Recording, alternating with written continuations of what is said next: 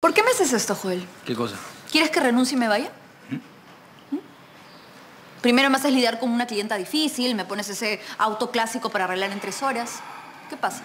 Bueno, esas son cosas que pasan en un taller, yo no tú debes saberlo. No, no, no, esas son cosas que tú estás haciendo que pasen. ¿Eh? ¿De qué tienes miedo? miedo, dice.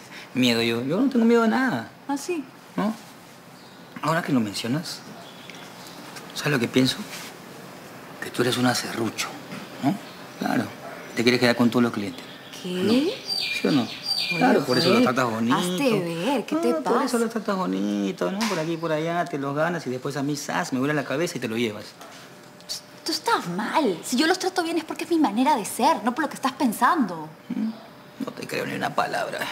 Mira, Joel, si tú quieres que renuncie, solamente dime, ya está. Pero antes te voy a aclarar una cosa.